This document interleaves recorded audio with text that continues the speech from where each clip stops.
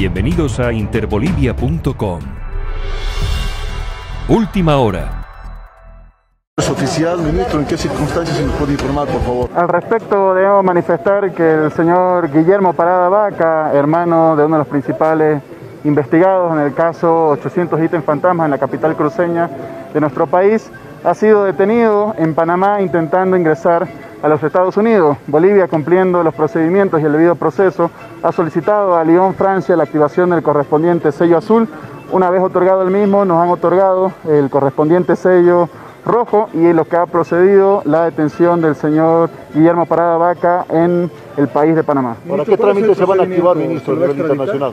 Estamos en conversaciones diplomáticas en estos momentos para ver la extradición o expulsión o cualquier otra figura jurídica que nos permita que este sujeto retorne al pueblo boliviano y se presente y rinda un informe a la justicia boliviana. ¿Qué sabe de Antonio Parada que ha solicitado refugio en Brasil? Él aún se, se, encontraría en el Brasil, pero sin embargo estamos esperando los informes oficiales de la República Federativa de Brasil. ¿Puede hacer alguna acción jurídica, alguna acción desde el gobierno para su extradición?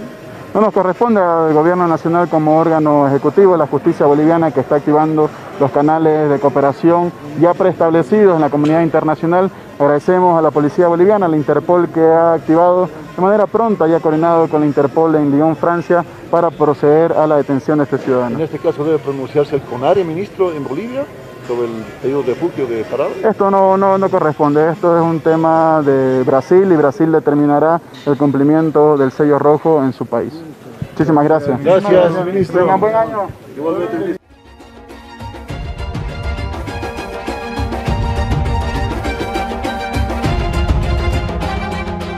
Subimos vídeo y contenido todos los días. Suscríbete a nuestro canal y no olvides activar la campanita para que te llegue todas las notificaciones.